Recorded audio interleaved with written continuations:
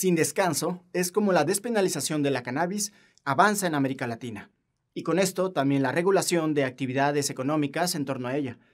En esta gran región, la lista de países que han legalizado la marihuana va en aumento. Y conforme se aprueban nuevas leyes, también nuevos mercados empiezan a consolidarse. Y ahora parece ser el turno de Brasil.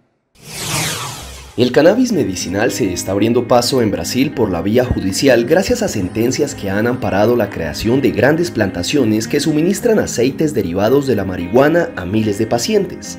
Una de las mayores plantaciones del país, con 600.000 metros cuadrados, se levanta en Pati do Alferes, a unas dos horas de Río de Janeiro, una hacienda que suministra aceites derivados del cannabis sativa a más de 3.000 pacientes de enfermedades como epilepsia, Parkinson, Alzheimer y autismo. Esta hacienda, que produce unos 2.000 frascos de aceites por mes, es fruto de un arduo y complejo camino emprendido por la Asociación de Apoyo a la Investigación y a Pacientes de Cannabis Medicinal APEPI, ONG que el pasado febrero recibió un permiso judicial para plantar cannabis. Así lo aseguró la abogada y fundadora de la APEPI, Margaret Brito. Nuestro trabajo está pendiente de resolución judicial. Solo tendremos una protección jurídica definitiva cuando sea juzgado en la Corte Suprema y eso va a tardar.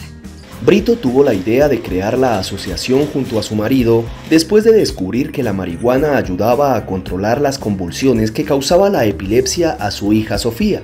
Ella llegó a tener 60 convulsiones en un mes. Con el cannabis conseguimos reducirlas a 15.